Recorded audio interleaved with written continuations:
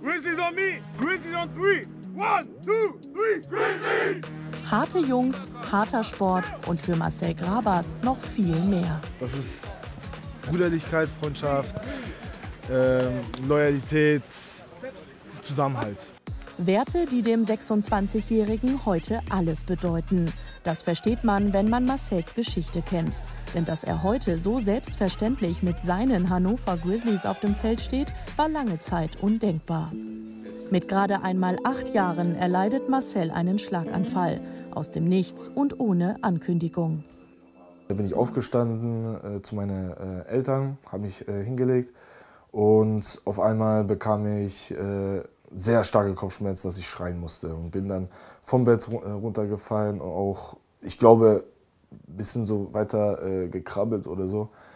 Und dann war ich weg, also ohnmächtig.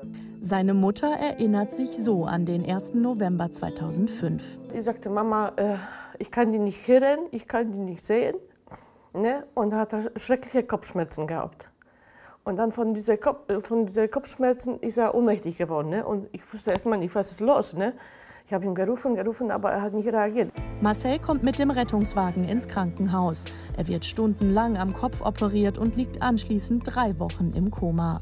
Von der Diagnose Schlaganfall ist die Familie geschockt. Marcel ist rechtzeitig gelähmt und kann nicht mehr sprechen. Wenn das Sprachzentrum äh, äh, zerstört ist, im das ist ja links, dann hat man äh, keine Muttersprache mehr. Sprechen und Laufen muss der kleine Junge neu lernen. Es folgen Reha und jahrelange Ergo- und Sprachtherapie. In der Schule kommt er nicht mehr mit und ist heute noch körperlich eingeschränkt. Ich sehe alles doppelt. Äh, ich darf auf dem Grund auch im Moment keinen äh, Führerschein machen.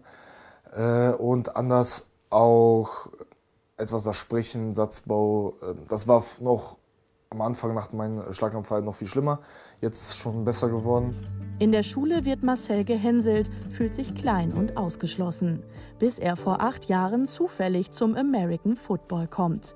Zweimal besucht er das Probetraining, dann weiß er, dass er seinen Sport gefunden hat. Weil er beim Football einen Helm trägt, geben die Ärzte grünes Licht.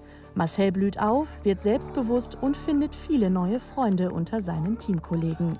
Der Sport gibt ihm halt sehr, sehr viel Kraft. Äh, auch außerhalb des Platzes äh, macht er viel, Teamabende organisieren, Fahrten. Ich habe selten einen Menschen erlebt, der so diesen Sport lebt. Das ist der herzlichste und geilste Typ, den ich jemals kennengelernt habe. Also wirklich. Er ist ja einfach der Beste. Wirklich. Komm her, Buddy. Wir beide in der Mitte. Wir rocken das Ding heute. Normal, Mann. Und sie rocken richtig. Die Hannover Grizzlies spielen mittlerweile in der Regionalliga. Vor einigen Jahren werden sie Landesligameister. Ein Moment, den Marcel nie vergessen wird. Es war schon wirklich ein ähm, unglaubliches Gefühl, das zu gewinnen. Wir lagen erstmal zurück zur Halbzeit und dann hat, eine, hat der Head Coach äh, uns eine Rede äh, gehalten, äh, dass die andere Mannschaft schon feiert. Und genau das war schon der Antrieb, dass wir äh, gewinnen. Und als der Signal kam, wir haben gewonnen, konnte ich das nicht fassen. Das war zwar die sechste Liga, aber es hat sich angefühlt wie das Super Bowl. War ein unglaubliches Gefühl. Heute hat Marcel einen Schulabschluss und einen Job in der Produktion eines Autozulieferers. Im Sommer möchte er sich seine Augenfehlstellung operativ korrigieren lassen.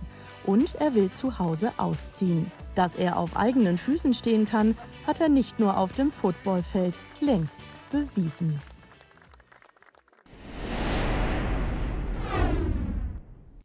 Hat euch das Video gefallen? Noch mehr Nachrichten aus eurer Region haben wir immer montags bis freitags um 18 Uhr für euch in unserem TV-Regionalmagazin RTL Nord.